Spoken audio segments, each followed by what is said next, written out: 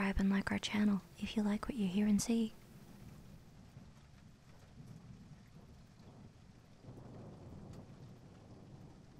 Zmei Dragons Origins Note The first minutes of the video explain what a Slavic dragon is. Skip to the stories if you'd like. Zmeis Throughout the centuries and across Slavic lands, they were a symbol of mystery, courage, and heroism, but they were also feared beings. According to traditional Slavic tales, some animals can evolve into a dragon when they reach a certain age, like 40 or 100 years. A zmei could evolve from a snake or a rooster, a turtle, a fish, or a ram. It can disguise itself as a piece of jewelry, like a bracelet or a pafti belt.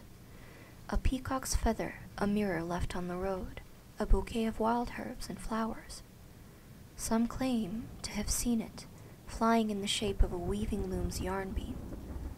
A dragon could be born as a human child as well. There's a widespread belief that if a child is born with tiny wings under its armpits, with snakeskin, with too many or too few eyes, hands, heads, or any mutation at all resembling reptilian features, then that child is certain to be a Zmei dragon child. Such children are born from the love of a mortal woman and Zmei. Old Slavic midwives instruct little Zmeis must be dressed with a special shirt immediately after their birth, if their mothers wish them to stay human, not fly away, and become the village's protectors. This special shirt must be sewn by a group of unmarried maidens.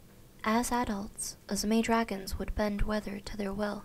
Their duty was to protect the crops and help farmers with the earth's fertility. Their arch enemy was the Ala, or Hala, a reptile deity which brings hail and harsh weather that was usually believed to be the Zmei's sister. Besides Ala, other malevolent dragon-like creatures were the Ajdaya and Lamia. You'll hear more about those creatures in one of our next videos, so stay tuned. Zmeis were master protectors of their native geographical locations from pests like these, and also from foreign Zmei rivals who sought to steal from their neighbors, much like humans. A Zmei could be the lord of a country, a region, a crop field, household, water reservoir, like a well, a tree, even a horse carriage sometimes. There are several terms for this Zmei profession. Stupanin, Sabia, in Bulgaria and Macedonia, Zduhach, Vetrovnik, in Serbia. The word Zmai in Serbian comes from the word snake, Zmija, but also might come from the word earth, Zemlja. Uh, the title of this dragon creature varies depending on region and country, but often bears the same word root. We have Zlina, Zmei, or Zmejko in Bulgaria, Zmai in Serbia and Bosnia, Zmei or Zmech in Macedonia, Zmek in Czechia, Zmi for Poland and Ukraine, Kachak, Pozoi, or Zdrokum in Croatia, Dalmatia specifically, Zmei in Russia, Lyubak in the Smolensk region, in Slovenia, Arak, Drak, Duhovin, Duhovina, Duhovinka, in Slovakia, Kralhada. In some regions, the name Zmai can be a synonym for other dragon types, such as the Ajdaya, Ala, Hala, or Lamia, instead of having the later three as its arch nemesis. Writers from the Croatian seaside region use Zmai Ognjeni, fire dragon, and Zmai Pakleni, hell dragon, to describe the devil. In old folk tradition, the name Zmai Vatreni again fire dragon, is a synonym for meteors which can be seen flying during the night. In certain regions of Bulgaria, tales depict zmeis as seraphim angels, emitting light and lightning, having faces and wings. In other parts of Bulgaria, around the region of Haskovo for instance, folk tell of zmeis going off to war as actual soldiers with the regular army, to do battle with the dragon protectors of the enemy nation. Some of them have been said to have been killed in the war and to have never again returned home to guard their village. Slovakia doesn't have an identical image of this Zmei dragon, at least not word for word. They've the Snake King, Kral Hada, instead. This snake like creature, similar to this Zmei, is alive in plenty of legends across the region of Zamagurye. Besides Slovakia, the Snake King or Queen also exist in the folk traditions of Slovenians. The Slovenian Snake King or Queen is known by the role of a guardian. It mostly protects places where vast treasures are hidden caves, dips, forests, etc.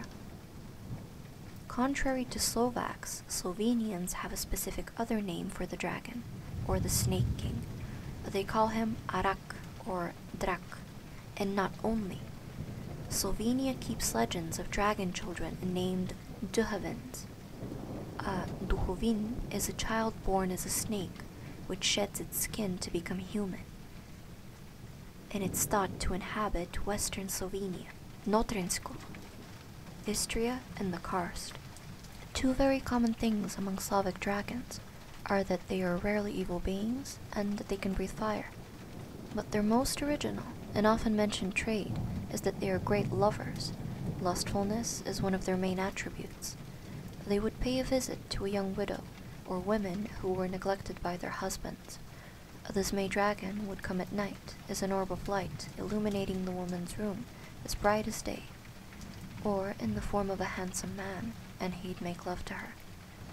Young unmarried girls were also the dragon's targets and point of interest. In tales, some Zmei dragons would force girls to make love to them at any cost, sometimes leaving large black and blue bruises on the victims' bodies. Despite such cases, Slavic dragons at large are a kind of totem animal, a mythical ancestor.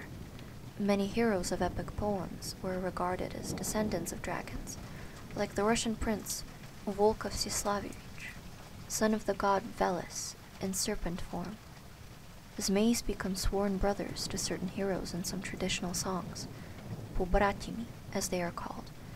In Slavic mythology, forests were the realm where the ancestors and the dragons alike would dwell, hence why Zmeis were seen as ancestral totems. Finally, they were imagined as living at the world's end in certain seasons of the year, where Slavic nymphs and elves lived too, the villas and samodivas. Number 1. Bulgaria. The following is an eyewitness account from 69 year old Maria Dimitrova from the Haskovo region of Bulgaria, who shared her story in 1983 with the researcher Valentina Ganeva. Her story has been taken from an anthology by Dr. Vikhrabaeva and her academic team of researchers, all listed in the description. The book is called Zmei, Zmica, Lamia i Khala. I saw this thingy too. I was a young girl at the age of 16. We had a store and I'd went out to buy olives. It was during Christmas fasts. There were people lined up outside exclaiming, Look, how the Zmei passes by. It resembles a weaving loom's yarn beam, but with a head. Red and burning, it can't be gazed at for long. But I saw this creature too. As soon as I did, I quickly went into the shop since I was young and easily frightened. But people stayed and watched to see where it flew out of and where it hid itself. Nowadays, wherever there is a war and battles are being fought, uh, that's where the Zmeis are. There are none left here anymore. It is the Zmei dragons that first clash with each other and begin fighting instead of nations, and only then do wars in the world get announced. Now that's the way us old folk know it goes from way back when in the day. Number two, Bulgaria. This next family memory belongs to Hristina Vukova, a woman from the village of Dospey, Samokov region. It tells of a clan from the town of Klisura who were her relatives. Klisura town also had its dragons. My grandmother told me of them. So, one of her relatives in Klisura, they called her Maria, was in love and had a relationship with Zmei. While she was on the field, a strong whirlwind appeared and lifted everything around, all the hay. So she hid herself in the haystack, and inside she dreamt or heard out loud someone speaking to her. Maria, come out from under there. I can't reach you. She responded, You come inside. It's very windy out there. And it answered, I cannot because of the herbs. Three stems among the straw are keeping me away. The ablinitsa, the gentian, hmm, the ablinitsa, the yellow sweet clover, the gentian. Three herbs were preventing him. I might be mistaking some of their names, but there was three of them. And what happened next? The sun shone through, and she came out. My mother has told me, as she was a witness of what happened next. Mum had taken Maria to Samokov city, and there one of the sons of this Grandma Maria was born, but with wings, here, under its arms. This big. The storyteller shows the interviewer the area of the armpits and demonstrates the size of the wings, then continues. And my mother saw them with her own eyes. He was from the Sharankovi family. He's Boris Sharankov. Probably even now, somewhere around the town of Klisura, there are still remaining members of the Sharankovi clan. And my mom would tell him, Boris, lift up your jacket. And my mom says they were this big, the wings under his arms, from the left and from the right side, too. The man had little wings. The woman shows the interviewer again. Both my grandmother had told me of this, and my mother claims that she's seen this with her own eyes. She'd say, The wings were yay big, they just hang there under his arms. I know many such things. However, one can't recall everything instantaneously when asked to tell it. Number three Macedonia. We haven't got the name of the story's author, but he or she shared it from the city of Veles, where the researcher the Etsuf wrote it down. It's also an entry from the book Zmej Zmica Lamia Ichala, just as the previous two stories. Every country has its master protector, a Sebia, who guards its prosperity and abundance. This master is the Zmej dragon, and where there's a Zmej, there's also a Lamia. The Lamia, an evil female dragon, and the Zmej are brother and sister. If a small cloud appears over a land and approaches from some side, this means that the body of the Zmej is lying face down somewhere, while only his soul walks among the clouds. Come hail or rain, the spot around him is dry. Bojica, the wool merchant's son, was a Zmej.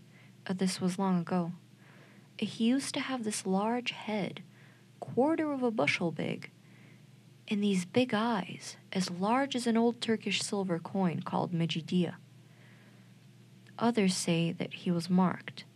He didn't used to go outside, only sat at home, mostly on the balcony. When thunder roared, he'd always be stuffed in his room so nobody could see him. The storm cloud that brought the thunder would be a foreign Zmei foe who'd come to steal the abundance and prosperity of the neighboring land. And that's why the rightful Zmei master of the land confuses his opponent to protect his land's fertility. This is because as may dragons steal from each other. They take the wealth from one property and pour it onto another. Georgia the pepper had harvested a wondrous amount of crops from his vineyard once, and he would say that he took it from the Zmej's hand which he'd found amid the vineyard. Number 4. Macedonia. The author of this account about a dragon's birth is anonymous, but we know the story has been collected in Prilep in 2006 and written down by Marko Tsepenkov in his work Folklore Heritage in six editions. I've heard from old women that practice midwifery that many women give birth to children with small wings under their arms, and these were zmejcheta, dragon infants. So they don't fly away, the women found a certain practice. One would be born with wings, and immediately they'd send for several unmarried lasses and make them cut out and sew some clothes to dress it, so the little Zmei doesn't fly and stays its mother's child, like all other children. After several days, the wings would fall off. Another practice the mother should not tell anyone about the child for 40 days, and the little one will stay, but if she shares with the women, it would fly away. Just like the little Zmei of Sia's did, the wife of Tushi, the handyman from Prilep city. This is what Pere Kuzmachik, the butcher, told me about the little dragon Sia gave birth to. Pere's mum, Dina, was going to knit traditional povojnica bread for the baby's first clothing at Sia's, as she was a relative. She unraveled the baby to see it. Upon seeing it, she was in awe as the child had one eye and little wings under its armpits. Auntie, what have I given birth to? said Sia to Dina. A beastie or a child? It isn't a beastie, Sia, nor an angel, but God's punishment for our sins, my daughter. Surprised, Dina came back home and told her son Pere. Pere, my son, I've heard of children with wings and one eye being born, sure, but I didn't believe it. Well, today I saw that our Sia has given birth to an infant with one eye and two little wings. Is it a little Zmei, mother? said Pere, if it has wings. A baby dragon, my son. What a wonder I've seen that I have not seen in my late years. In several days' time, Dina went to Sia to see the child, but the child was gone. Sia, where's your baby? she asked. My child flew from its blanket, Auntie. When Dina heard these words, she began to cross herself repetitively, and upon returning home, she shared this with Pere. The next day, Pere told me and assured me that this truly occurred. Number 5. Slovenia. The following account notes a Slovenian family's experience from the mountain pass Ljubelj at the Austro-Slovenian border, in particular at the village Poden by the river Kolpa. The Vžekar family in Poden once had so many snakes that the housekeeper could no longer keep track of them. They crawled all over the granary and in the kitchen. They were found in the cooked cabbages and in the cribs of the children, although they did not do them any harm. The members of the Vžekar family went on pilgrimage, but none of it did any good. A traveler came by once. He claimed he could chase the snakes away but only if a certain white snake was not near. All of the family members confirmed that they hadn't seen one. Some claim that they really hadn't come across the beast before, while others say that they had but kept it a secret. Thus, the traveler started with his preparations. He went to the end of the road where a tall spruce tree grew. He sent for some dry brushwood and branches and ordered for them to be put around the spruce tree. He set fire to the heap and climbed atop the tree. He started to whistle on his flute in a very high pitch. The snakes started to wind their way towards the spruce tree, and most of them came from the house. They all died in the fire. But soon, the people heard something from afar coming from the direction of the mountain peak Sveta Pech, to be exact. A piercing whistle that jarred every bone in the people who were near. The man on the spruce tree screamed, People run and pray for me, for I am lost. There truly came a white snake, which was as fat as a long, wide wooden pole. It rushed through the fire and straight onto the spruce tree so that the men fell down from it, and, together with the snake, died in the fire. they put a cross in the exact place in his memory. Number six, you're about to hear a personal recollection from the 17th century Slovenian historian Janez Vajkard Valvasor on a type of dragon called a duhovin. Janez Vajkard Valvasor reported that some women in the karst give birth to snakes. People and then beat the snakes with birch branches until they transform into children. Valvasor lists several more examples of such births in the Karst, Pivka, Notrinsko, adding that although he heard much about this, he never came across anyone who'd actually witnessed such a birth. Valvasor writes, quote, They say that a duhovin still lives in the karst. He was born in such a manner, but for obvious reasons remains anonymous. Still alive is also an old woman who allegedly witnessed this transformation twice. As was noted by Valvasor, sometimes the snake could not be caught after birth. In this case, it disappeared. Number 7. The following is a personal recollection of the Slovenian folklorist Josip Pajek from 1884 about a type of zmei called a lintvert that terrorized his home region. It's been taken from the scientific research of scholar Monika Kropej, called Supernatural Beings from Slovenian Myth and Folk Tales.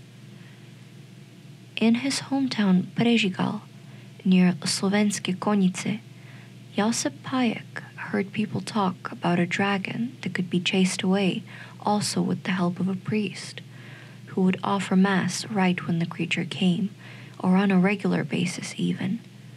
A quote from Pajek The lintvert lives in the marsh at the top of the Konjice mountain.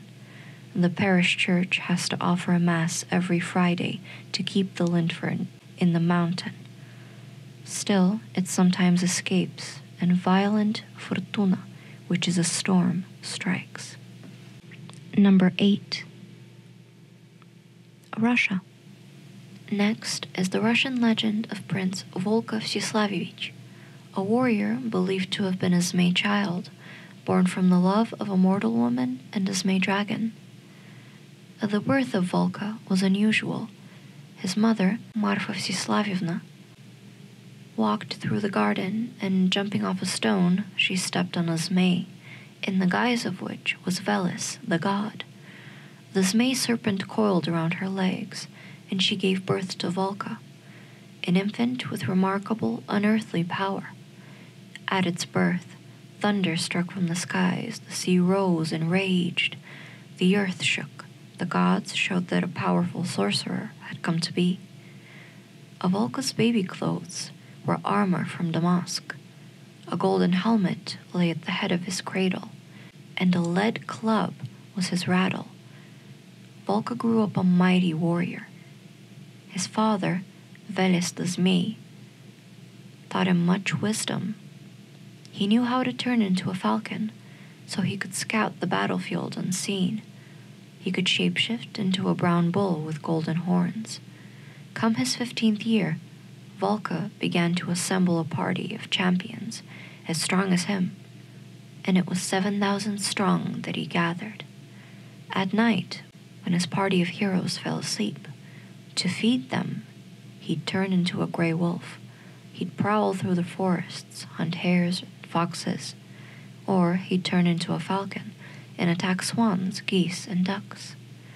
Because of his Zmei father and abilities of a protector, Volka could be considered a Zmei Stupanin by Bulgarian traditions, or Zduhac, also Vetrovnik by Serbian.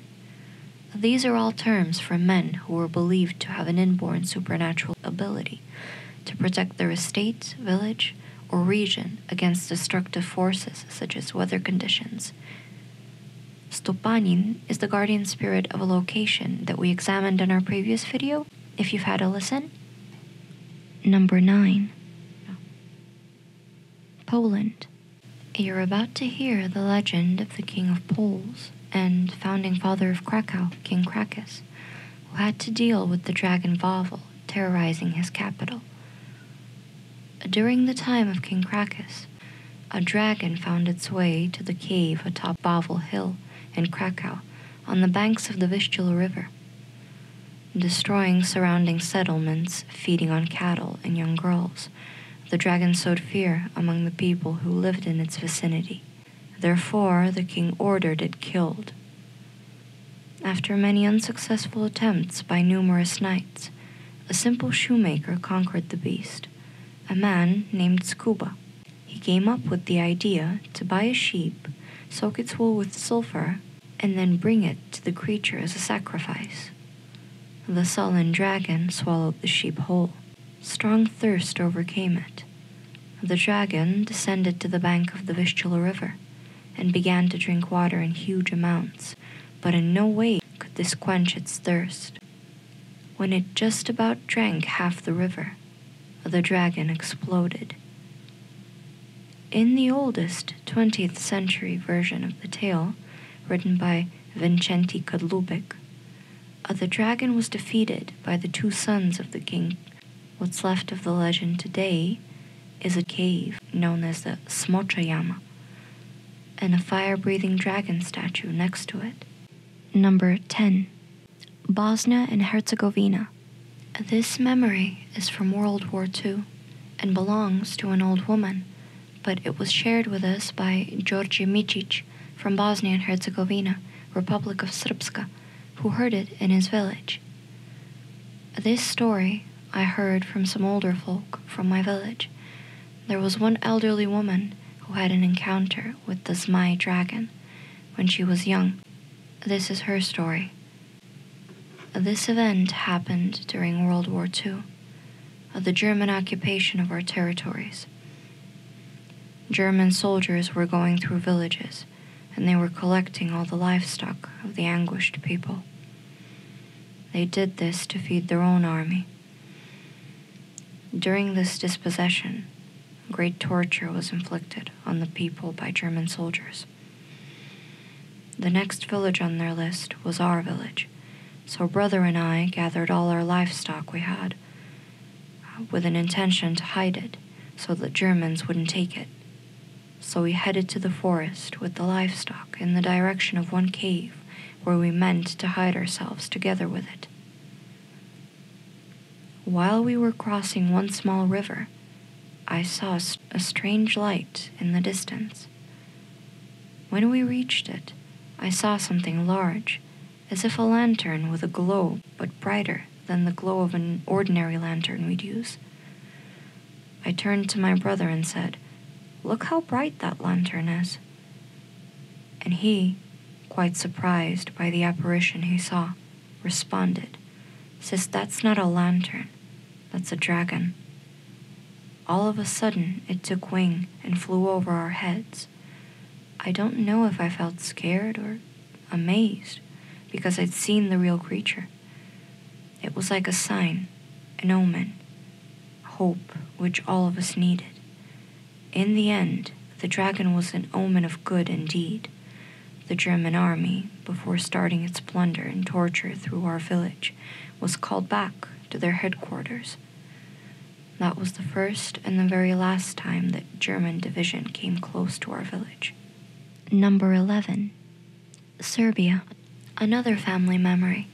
This one was shared with our own channel's researcher by a close personal acquaintance, Nemanja Bojković. There's a story about how my twice great grandma knew one woman that was allegedly sick with dragon disease, which meant that she's been visited by a dragon and she's had a relationship with him. This implied she was constantly sick, pale, and with no will to live a lot of people were seeing strange lights around the chimney of that woman's house. So people thought it was a dragon, since dragons use the chimney to get into someone's house and make love to the women from the home. This would have been taken as a rumor, mere gossip, had that woman not told my twice great grandma that a dragon was visiting her and that her children are in danger too. Her husband had died and she had three children with him. Also, She wanted my grandmother to avoid the house, because if not, her own family would be in the same kind of danger. Every time my twice great grandparents would walk through the village and get close to that woman's house, Granny would say to her husband, Blagoye, don't go in that direction. She's been visited by the dragon. Not long after, the woman shared her secret. One by one, her children died. In just a couple of months. Soon after her children passed away, she also did. Since then, those strange lights around the chimney never appeared again. Found this video's creature interesting? See the Zmei in action then, as a main character in these new works of Slavic authors and filmmakers we found for you. Usnuli Zmajevi, the book just premiered in Serbia, aka Sleeping Dragons, by Milos Petkovic and Aca Celtic. Usnuli Zmajevi is an epic fantasy novel entirely based on Slavic mythology and actual locations with their local legends across Serbia. It follows a fellowship of Slavic mythical beings as they march against the dark forces of Crnbog. So, if you've ever wondered if Lord of the Rings could be just as epic in a Slavic setting, yes, it can. Uh, the stunning zmeis you'll see inside the book are courtesy of illustrator Igor Krstic, who's also part of the circle of creative artists Ordo Draconis, based in, well, you guessed it, Niš. Animations on our list too. New Bulgarian series The Golden Apple by Studio Zmei released its first episode, and it's all about Zmei life. Uh, the show's lead heroine, Vihra, is the daughter of the Zmei protector of Kukirovo city, and the city's mayor, a mortal woman. Uh, the show is jam packed with any Slavic creature you can find on the Balkans, and also it has a team of supernatural heroes battling and befriending them to save their world. Think Cartoon Network's Samurai Jack, but with all that sweet, sweet Slavic lore in it instead. And evil Aku's now Chuma, the plague queen of all sicknesses, laying siege to the world with an army of folk monstrosities. If it's witness accounts that have caught your eye, the 2016 collection of personal encounters with Zmeis, compiled by academic Vihra Baeva and her team of researchers, is what you're wanting.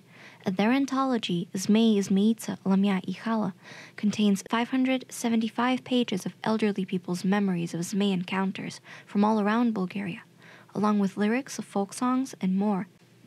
A live action movie from 2015, On Drakon, aka He's a Dragon, is the Russian take on Zmeis. It has epic Zmei visuals and folk costume designs. If the Casanova side of the Zmei got you curious, this is the movie to follow it through in. Links to each are in the description below. Thanks for listening and stay tuned, there's much more to come.